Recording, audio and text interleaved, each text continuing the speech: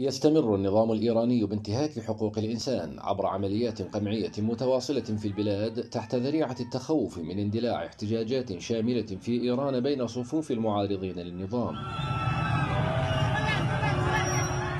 وفي ظل تلك المخاوف التي يتذرع بها النظام الإيراني أطلقت الاستخبارات الإيرانية حملة اعتقالات واسعة طالت كثيرا من الشباب مع اقتراب ذكرى احتجاجات تشرين الثاني عام 2019 موقع إيران هيومن رايتس مونيتور كشف أن من بين المعتقلين شباب مصابون بالعديد من الأمراض بينها السرطان وأن الاعتقالات كانت عشوائية وشملت منطقة سونغور في محافظة كرمانشاه.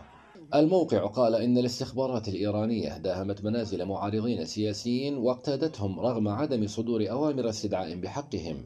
ومن بين المعارضين المعتقلين سعيد أصغري وسعيد صميمي وكسرة بني عمران. اقتيدوا جميعا إلى سجن إيفين وحكم عليهم بالسجن عشر سنوات بتهمتي تهديد الأمن القومي والتعاون مع منظمة مجاهدي خلق الإيرانية المعارضة.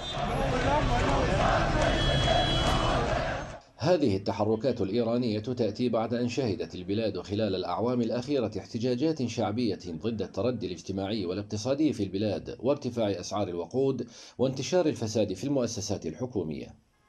وكانت احتجاجات عام 2019 شهدت قمعا شديدا من قبل السلطات الإيرانية أسفرت عن سقوط قتلى وجرحى بين المحتجين فضلا عن اعتقال أعداد كبيرة منهم. منظمة العفو الدولية أمنستي قالت في تقرير لها إن قوات الأمن الإيرانية ارتكبت انتهاكات مروعة لحقوق الإنسان في البلاد عبر قمع الاحتجاجات بقسوة واعتقال كثيرين وقطع شبه كامل لشبكة الإنترنت والإخفاء القسري وتعذيب المعتقلين.